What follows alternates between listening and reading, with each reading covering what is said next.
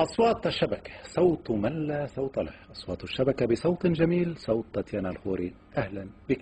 أهلا بك.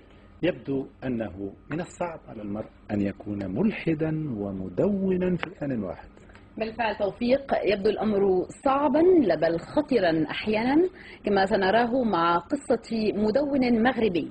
لكن بداية لابد من الإشارة إلى أن المدونين الملحدين أو ظاهرة المواقع والشبكات والمدونات الملحدة ظاهرة مستجدة على شبكة الإنترنت العربية. في السنوات الأخيرة ومع تنامي شبكة الإنترنت بدأ عدد من المدونين بالمجاهرة بإلحادهم. هذه المواقع تعرف صراحة عن نفسها بأنها مواقع لا دينية وغالبا ما يدون أصحابها بدون الكشف عن أسمائهم. قاسم الغزالي صاحب إحدى هذه المدونات الملحدة يقول إن إلحاده يخوله مناقشة الأديان من وجهة نظر عقلانية. تحدثنا إليه عبر الويب كام وكان له التعليق التالي.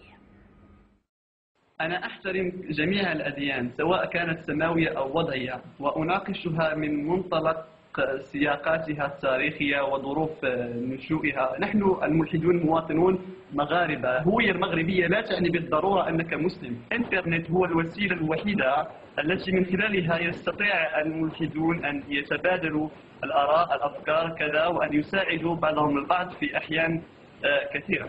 على الأقل الآن آه، الملحدون استطاعوا أن يخرجوا من عزلتهم أجزم بأن الكثير من الملحدين استطاعوا تحقيق تواصل واقعي من خلال الشبكات الاجتماعية. الإنترنت فضاء جديد لممارسة المعتقد؟ صحيح سمحت شبكة الإنترنت للمدونين الملحدين بممارسة أفضل لحرية المعتقد.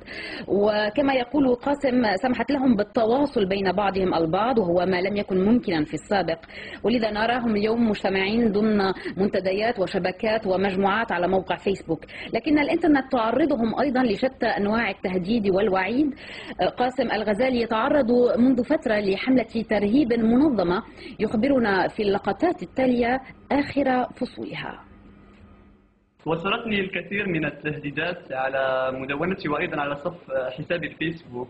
التهديدات تنقسم إلى نوعين. النوع الأول هي التهديدات تتسم بالسب والشتم والقذف وعبارات وقحة يمكن وصفها باللا أخلاقية. هذه التهديدات لا ترعبني ولا تخيفني كثيرا لكن مؤخرا توصلت بالتهديد إلى حد ما أثار في نوعا من الرعب وهو كان تهديد مكتوب باللغة العربية الفصحى آه، ولا يتعدى السطرين. آه، في الرسالة الأولى يقول فيها صاحب التهديد الذي يحمل اسم أبو حذيفة الأنصاري ويضع الصورة صورة لأربعة رجال ملثمين على بروفايل على صورة بروفايله الفيسبوك يقول لي فيها ستذبح ذبيحة الخراف قريبا وأرسل رسالة ثانية معنونة بموعد يقول فيها موعدنا المجزرة الحاجب والحاجب هي النقطة أو المدينة التي أرتادها باستمرار.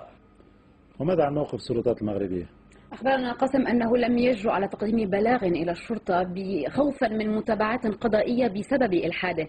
يذكر هنا أن القانون المغربي يجرم بموجب المادة 220 من القانون الجنائي كل من يحاول زعزعة عقيدة مسلم أو تحويله عن ديانة إلى ديانة أخرى.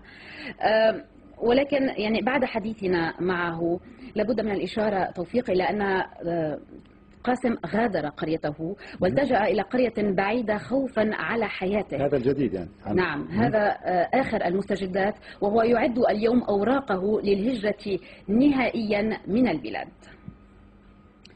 وربما في الختام أود تذكير المشاهدين والمستمعين الكرام إلى أن أصوات الشبكة أصواتهم.